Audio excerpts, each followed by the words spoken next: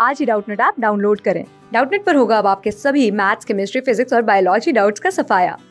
बस अपने क्वेश्चन की फ़ोटो खींचो, उसे क्रॉप करो और तुरंत वीडियो सोल्यूशन पाओ। Download now.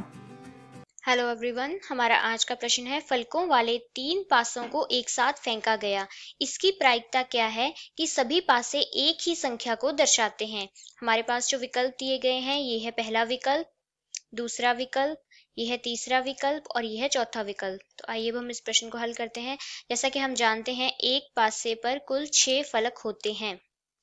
एक पासे पर छह फलक होते हैं। तो जब हम तीन पासों को एक साथ फेंकते हैं तो उसके जो कुल परिणाम है वह बराबर होंगे। कुल परिणाम बराबर हैं छ की घात तीन। मतलब जितने उसके ऊपर परिणाम होते हैं और जितनी बार उसे फेंका गया है तो छह की घात तीन बराबर होता है दो सौ सोलह के। तो यहाँ से अब कहा गया है कि सभी पासे एक ही संख्या को दर्शाते हैं तो हमारे पास अनुकूल परिणाम बराबर होंगे। अनुकूल परिणाम बराबर हैं।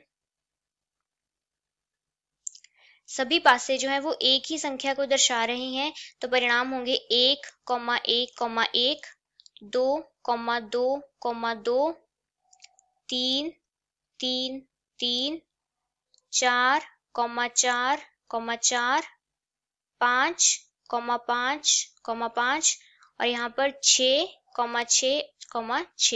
तो हमारे पास जो अनुकूल परिणाम है, वे बराबर हैं छ के। अब हमें प्रायिकता ज्ञात करनी है। तो प्रायिकता बराबर होती है।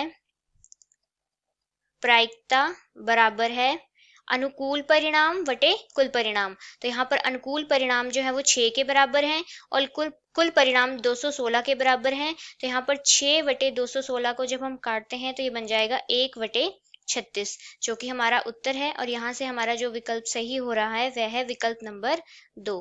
Thank you.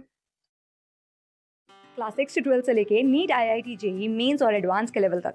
दस मिलियन से ज़्यादा स्टूडेंट्स का भरोसा। आज ही डाउनलोड करें डाउट नेट आप या व्हाट्सअप कीजिए अपने डाउट्स आठ चार सौ चार सौ चार सौ पर।